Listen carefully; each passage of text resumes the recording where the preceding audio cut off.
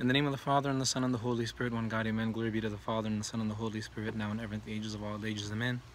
Today's Monday, July the 20th, 2020. We look at Psalm 33, which is entitled The Sovereignty of the Lord in Creation and History. It says with, starts, Rejoice in the Lord, O you righteous, for praise from the upright is beautiful. Rejoicing in the Lord is something the Lord has gifted us with, and it's truly His will for us to live in His joy.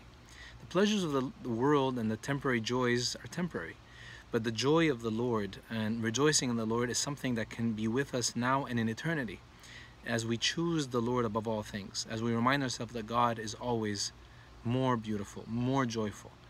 The holiness that He wants to give us is an eternal gift. That's why St. Paul says, Rejoice in the Lord always. In everything give thanks, for this is the will of God in Christ Jesus for you. So rejoice in the Lord is a divine command, but it's meant to give us the peace and to have that joy on our faces and our lives and our hearts despite the difficulties and crosses that must be bore, born in this life. They are born with joy and cheer knowing the joy that is set before us. As st paul said of our lord god and savior jesus christ that for the, the joy that was set before him he endured the cross for our salvation. His his joy is our salvation and therefore our salvation becomes our joy because we know that it comes from him and through him and by him. It says, Rejoice in the Lord, O you righteous, for praise from the upright is beautiful. Now, praise from the upright is beautiful to the Lord. And who are the upright? The upright, as the fathers say, are those who redirect their hearts to God, who say, Thy will be done on earth as it is in heaven, that I may truly seek you, Lord, above all things. Those who are upright, according to God, are those who redirect their heart, who lift their hearts up to Him, who choose Him and choose His will and strive to maintain holiness in their day-to-day -day walk with Him. It says, Make melody to Him with an instrument of ten strings, sing to Him a new song, play skillfully with a shout of joy. Now that instrument of ten strings, that harp, is basically our life our body which we offer to Him as a living sacrifice, as St. Paul would say. We make melody by living harmoniously, body, soul, and spirit, according to His will. We sing to Him a new song, the song of the gospel, the song of rejoicing in salvation, the song of preparation for eternal life, the song of knowing that He has killed death by His death, and He has risen for us to be risen in Him. Play skillfully with a shout of joy. Now, when all of us come together and praise the Lord and sing to Him in one heart, realizing why we are rejoicing, it becomes a shout of joy, not just a song of joy. For the word of the Lord is right, and all His work is done in truth. There is nothing that the Lord is wrong in, and there's nothing that the Lord will not do in truth. He is the way, the truth, and the life, as we know. So therefore, the word of the Lord is right, and all His work is done in truth. So whatever happens, we trust in the rightness and the righteousness and the truth of the Lord. He loves righteousness and justice. This is what the Lord loves. Being righteous and just, He loves to see righteousness and justice grow in His children, in His creation that He created in His own image and likeness. He rejoices to see us walk in His righteousness and His justice, to seek it and strive for it, asking Him to mold us and shape us in His image. The earth is full of the goodness of the Lord.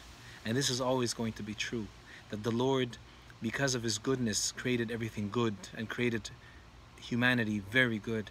And this is the will of the Lord, that humanity may be good in his likeness, in his image, that without him, nothing good is. But it is full of his goodness. That's why the psalmist says, the goodness of the Lord. By the word of the Lord the heavens were made, and all the host of them by the breath of his mouth. Which reminds us of the Trinity, that the word of God the word was spoken and creation was done. We see the Trinity working through these verses. By the word of the Lord, the heavens were made, and all the host of them by the breath of his mouth. He gathers the waters of the sea together as a heap. He lays up the deep in storehouses. Look at the magnificence and the strength and how awesome is our God that all these things were done by him. The depths of the knowledge of our Lord and his wisdom and his infinity that before everything was, he is. He is the great I am. Says, Let the earth fear the Lord. Let all the inhabitants of the world stand in awe of him. And truly, when we choose to, we realize how awesome is our God. How great is our God that we see his awesomeness and his meekness and his beauty and everything he has created. For he spoke and it was done. He commanded and it stood fast. The word of the Lord endures forever, as it says in the words of the Psalms and in the prophets. In verse 10 it says, The Lord brings the counsel of the nations to nothing.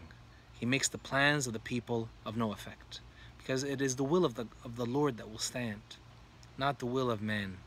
That if man chooses to create his own plans and will, at the end, it is the will of the Lord that shall prevail. The counsel of the Lord stands forever, the plans of his heart to all generations. Blessed is the nation whose God is the Lord, the people he has chosen as, as his own inheritance. Blessed is the nation who chooses to live and, with and by the Lord. The Lord looks from heaven. He sees all the sons of men. From the place of his dwelling he looks on all the inhabitants of the earth. He fashions their hearts individually. He considers all their works. The Lord from his vantage point as God looks upon us and sees us. And in his great love and humi humility he became man and descended and walked among us. Even more to see us even at our level, to raise us to his. When you think of these words, that He fashions their hearts individually, the Lord has created every one of us individually by name and loves us each individually by name. No king is saved by the multitude of an army. A mighty man is not delivered by great strength, as it says in verse 16. Verse 17 says, A horse is a vain hope for safety. Neither shall it deliver any by its great strength. So anything in creation, nothing can protect us and lead us and strengthen us and comfort us like the Lord. No king is saved by the multitude of an army. A mighty man is not delivered by great strength. A horse is a vain hope for safety. Neither shall it deliver any by its great strength. Because we are delivered by the Lord. None of these things could have saved us from eternal death except our Lord Jesus Christ and his death and his blood on the cross. Behold, the eye of the Lord is on those who fear him, on those who hope in his mercy, to deliver their soul from death and to keep them alive in famine. The Lord looks on us and invites us. And he says, I stand at the door and knock. I will come in and dine with you if you open to me. The Lord is reminding us of this great truth here, that he is there for those who hope in his mercy, and his, his hands are open for all to accept his invitation. He delivers our soul from death and keeps us alive from famine, from the famine of spiritual drought. His word revives us, and that's why reading his word, praying your psalms daily, will keep you revived and well nourished. It says in verse 20 to 22, the final verses, it says, Our soul waits for the Lord. He is our help and our shield. For our heart shall rejoice in him, because we have trusted in his holy name. Let your mercy, O Lord, be upon us, just as we hope in you. So our soul waits upon the Lord, being our help and our shield. Our heart then rejoices in him because we trust in him. We have trusted in his holy name. His holy name is a place of great credibility to be trusted in. Let your mercy, O Lord, be upon us just as we hope in you. That's why I abide faith, hope, and love, as St. Paul says. And as we grow in faith and we grow in hope in his promises and in the hope of the resurrection, we'll abide in his love forever. May God grant us the joy to praise him uprightly and the resilience to walk with him faithfully, trusting in his holy name and in his love for each and every one of us, now and on to eternity. And glory be to God forever and ever. Amen.